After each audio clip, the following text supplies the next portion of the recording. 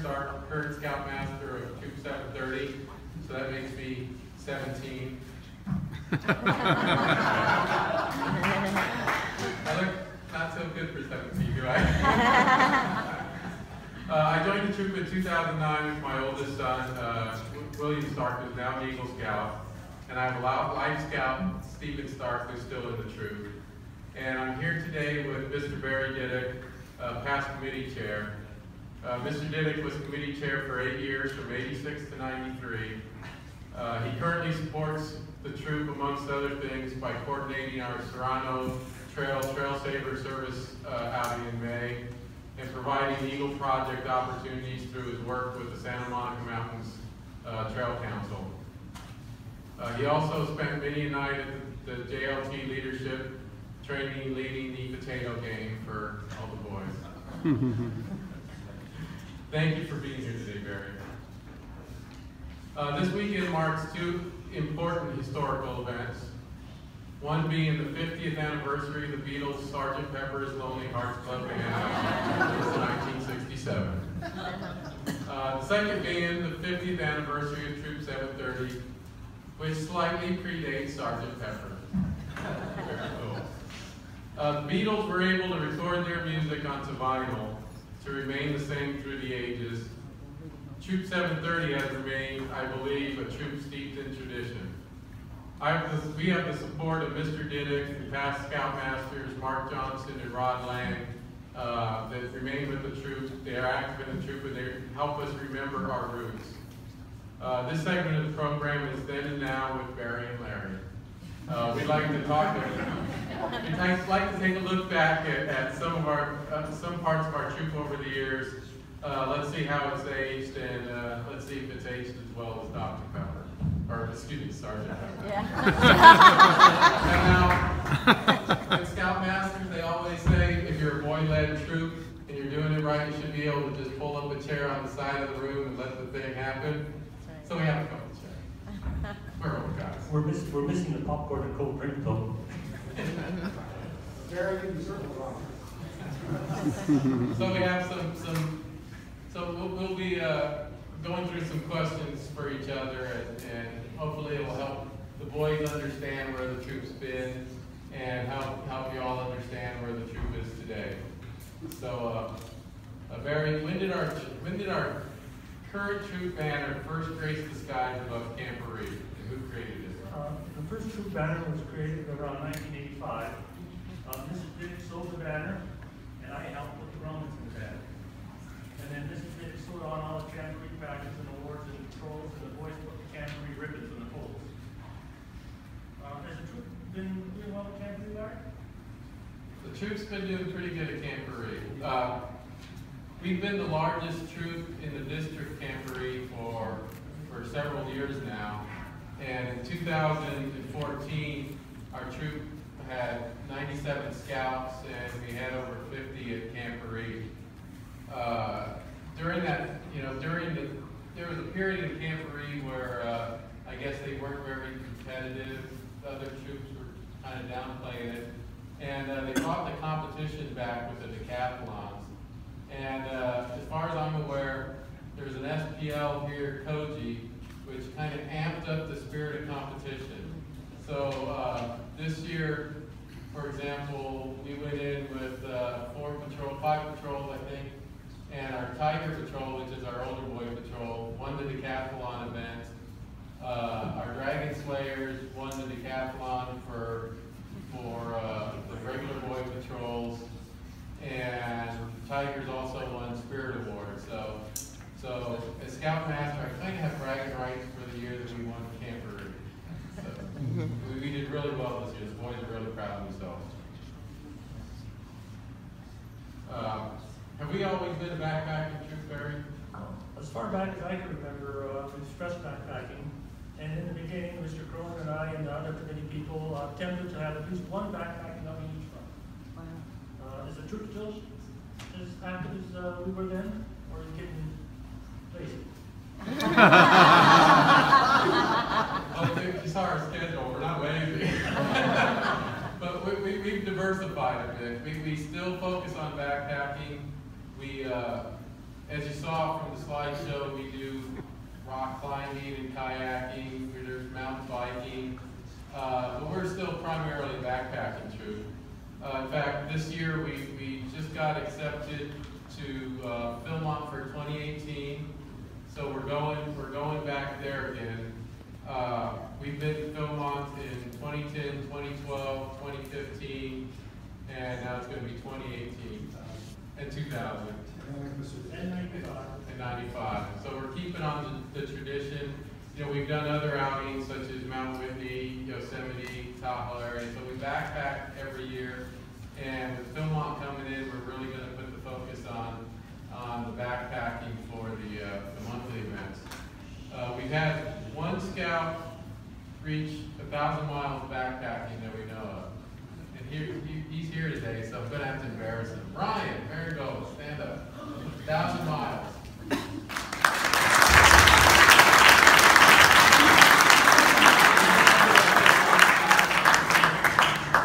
And there's currently, I think he's behind the screen, currently Steven Stark back there 598, and he weighs 105.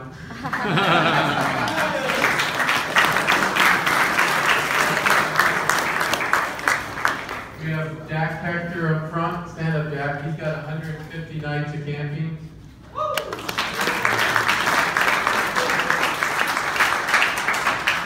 And then for, for adults, we have uh, Mr. Mark Johnson at 1,680 miles. Stand up, Mark. So 1,580 miles and 292 nights of camping. So he's had, he's had a lot of bad food. Uh, and, and not far behind is Mr. Lang, Mr. Marigola, and Mr. Dydyk. He's, I think Mr. Dydyk comes in. I don't know how far the records went back, but we've got you at, at 800, I believe 868 miles. So, and he's still, he's still hiking the trails for the Santa Monica Mountains Trails Council, so good job. Uh, let's move on. How, how does Troop 730 get our logo? Way, way back when, uh, we were on a hike, not the whole troop, just part of the troop up Old Boney, and we slept at Danielson Monument. Uh, while we were there, the, the moon came up, and, uh, we took a picture of my older, my younger son, silhouetted against the moon, and thought, that's a cool picture, and we'll just sort of keep it. Someone saw the picture, and, uh, we suggested, uh, to use it as our logo, and I think Mr. Okui's son, uh, who's a graphic artist, kind of tied the picture up and made it into our current logo. Uh, And then, uh, Mr. Kim Bond, uh, who is now in Troop Seven 53. fifty-three. uh, Brand X. carved uh, neckerchief slides. So he used the, the picture and he carved the first neckerchief slide that most of us have today. And I took a copy of that slide uh, and made plaster of Paris uh, neckerchief slides with a little hanger hook behind it. And they didn't last very long. They looked kind of yucky when, the, when you banged them because they all turned white. And uh, we proceed now, and I think today we do it with uh, 3D graphics. 3D printer. 3D printer. So been around for a while. Um, I've got another question for you. Okay. Uh, why is there a loose patrol for adults, and how did we get our name? Well, well, on one of the monthly campouts, uh, some of the adults took a look at what the boys were eating, and they were eating very nutritious food. Pop Tarts and hot ramen. And, and we thought that's not very conducive to, uh, good backpacking and good camping, so we decided that, uh, we would form a patrol of the adults and, uh, show the boys what camping and cooking out in the wil- wilderness was. And we did that, and, and then we kind of gave the taste and smell of it, and they said, hmm, that's good. And we challenged them, and they, they had a competition with us to see who could, could cook the most gourmet meals. And one of the things I remember when we were in East Fork of the Lion, uh, we ended up cooking, uh, portobello mushrooms, uh, on an open fire. and that was the starter. And in order to, do- in order to keep this tradition, we thought, well, we're gonna have to name our patrol. And on a visit uh, to Canada, I noticed that there was a kind of a different patrol name that they didn't have, and that was the Moose. So I picked up some whole bunch of Canadian moose patches, and we had our Moose Patrol. Uh, how's it going now, Larry? Is it any better? Yeah, it's pretty good. Well, we still have our Pop Tart challenge. Uh, you know, the, the food kind of goes up and down. The moose food is always great. We always do well. We always eat well. And if they want to come and wash our dishes, we maybe, you know, help the starving scout out. Uh, but, but, uh, the food goes up and down, so lately, what we've done is the Moose has started food challenges.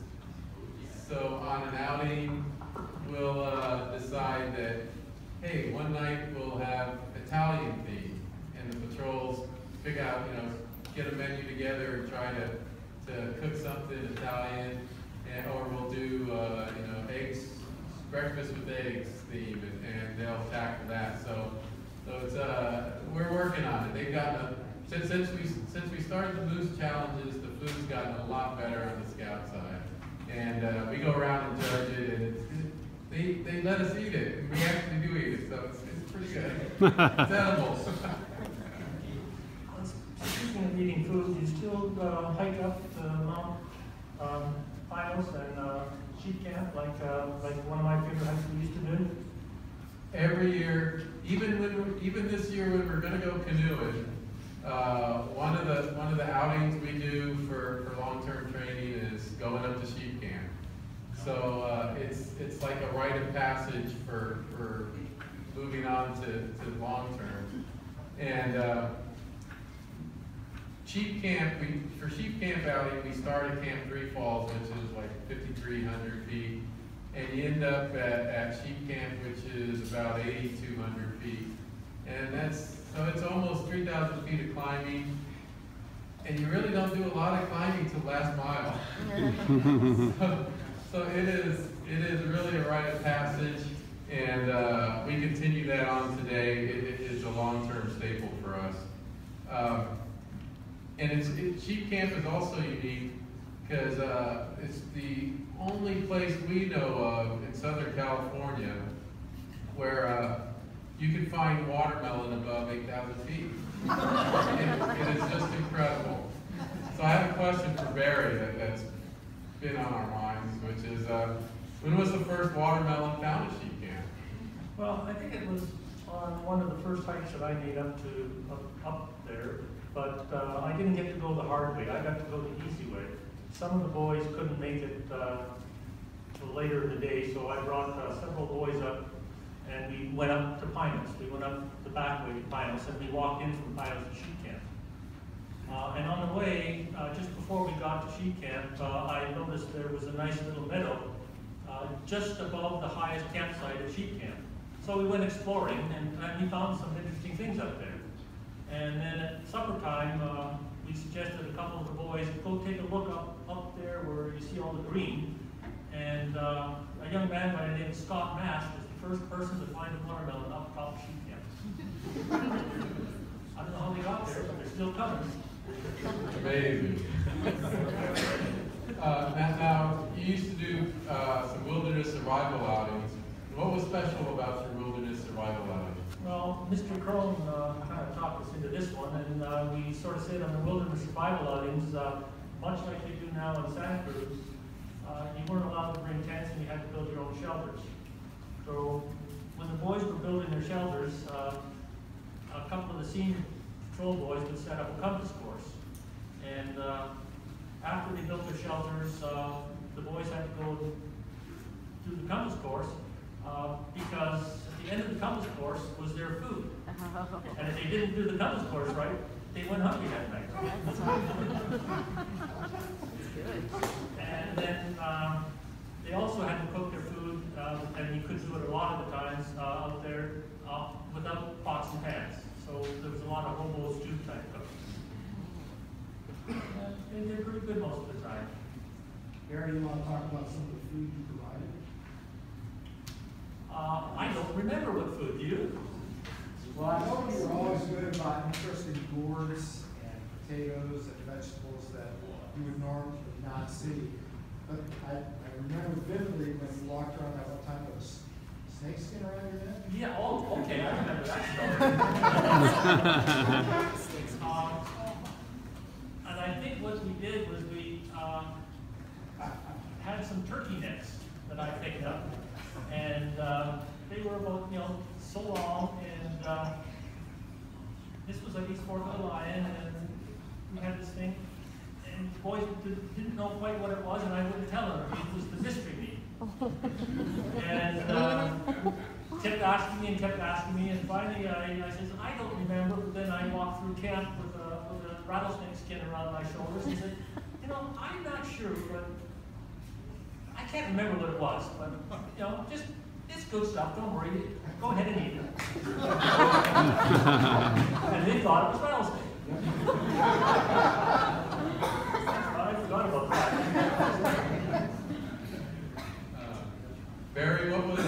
1730s tradition with the Order of the Arrow Honor Society? Well, uh, we were quite active. We had uh, two ceremony teams from this troop. Uh, used to practice in my garage a lot of the times. And uh, I think Dylan and Kurt remember all, all that kind of fun stuff oh, yeah. did. And uh, we went to NOAC and competed at NOAC and did quite well in our, in our ceremony competition team. But I had a little bit of help in that uh, Mrs. Dydyk uh, must have sewn about 15 of the uh, tops and the bottoms for the boys, sewed on the sides, and the boys decorated their own. And uh, we did a lot of our own uh, regalia making. I think my younger son made a, I think we still have it, Ben, don't we, the blue, the blue headdress? And uh, a couple of the headdresses that the boys used, we made. So we had a lot of fun building our own, our own uh, regalia, much like we were told before. The troop still involved, Larry, in the OA? Is it as busy as, as I was, three nights a week? Well, I don't, I don't know if Ryan does three nights a week. But we do have the, the district, uh, Ryan, lead us in the troop.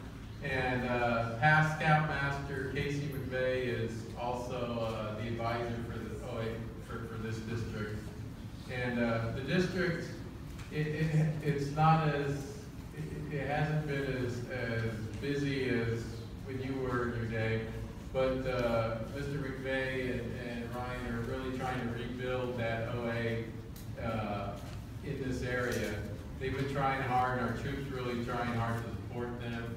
Uh, this year, I believe we had seventeen nominated for an ordeal, called out for an ordeal. So we're trying to do our part to bring OA back into the Conejo Valley and make it strong again. Uh, Barry, what were some of the fundraisers the troop used to do? I remember, uh, we did, uh, hot dog sale in front of Old Albertsons, where Trader Joe's we set up a booth and sell hot dogs. Uh, Conejo Valley Days, we sold meatball sandwiches for several years, we had a booth doing it there. And I think Mr. Crone or some of his friends, uh, from Waterloo, we got into the air show where we cooked hamburgers. Never wanna do that again, a burger for a week. Uh, we sold one pound packages of nuts from Sovis Nut House, and the adults used to get together and buy them in bulk and, uh, bag them ourselves. We had to really be careful because an ounce in each bag, and there goes our profit. Uh, we sold entertainment books, uh, and we had sponsors, uh, like Penguin Yogurt in the mall, when we went to them, that would give us their profit for the night. How about you, you still do fundraisers? Well, we, we, uh, we wish we had Girl Scout cookies. No, we, uh, we sell popcorn in the fall, uh, that's a nationwide effort, uh, for the scouts. Uh, they now have a new thing called camp cards that, that, that the district sells. So it's, uh, like five bucks off of Albertsons and some other discounts, and the boys get half of the five dollars. Uh, we have an annual garage sale in April that we just completed very successfully. Uh, At the garage sale, we've had some very generous donations that have really helped the troop, so thank you all for that. Uh, we used to do, uh, car wash tickets, and that's kind of gone by the wayside. And the entertainment books have, have kind of gone by the wayside. I think there was too much competition there. Uh, many Eagle candidates still raise funds by, uh, uh, hitting up dinners in the, diners, uh, restaurants in the area for, uh, uh, meal nights where the, where the, restaurant will donate a portion, portion of their proceeds to the, to the Eagles project, the Eagle Candidates Project. So that's really helpful. Um, we also get some donations uh, from generous uh, private organizations, families, indivi- individuals. And uh, these, these donations have really helped some of our scouts uh, make it to summer camp and some of the more expensive long-term outings. So uh, the fundraisers have changed, but, but we're still able to, to help the scouts and help the scouts help themselves. Uh, there was an interesting story of heroism in uh, Boys' Life about a rescue attempt on Mount Baden Powell. Can you tell us a little about that incident? Uh, yeah, I think that was around nineteen eighty-six now, was it? Uh, we were doing one of our monthly outings on Baden Powell. We did it a little bit early in the year, and it had been a year that had a lot of snow. So, uh, as we worked our way up Ba- Mount Baden Powell, it got, uh, slipperier and, and, and so on. Uh, and about a third of the way up, uh, we heard an awful series of screams, uh, from off, off to our, I think, stop up ahead of us. And then when we looked up, we saw a body tumbling down the side of the mountain, uh, screaming and screaming. Uh, So we stopped and decided, what should we do? So the boys stayed, stood still, and uh, Mr. Crone, my older son, Kevin, and Tom McCaffrey went towards the boy to see if they could, the, the person, to see if they could help him at all.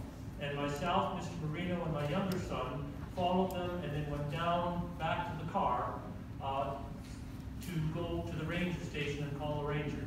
Uh, we made it to the ranger station, and they, the ranger came up and they sent a helicopter uh, to, to rescue the boy. Uh, and uh, a young man by the name of Chris Smolin. Uh, they took him to the hospital, but he passed the next day. Uh, and his employer, uh, Rockwell International, uh, in response to his family, sent the troop $110. And we used that to purchase our very first Eagle plaque in the back in, in memory of him and the, and the situation that happened. And oh, six, six members of the troop, uh, as you'll see in your highlights, received uh, uh, awards from the Boy Scouts for, for their efforts. That, about as much as uh,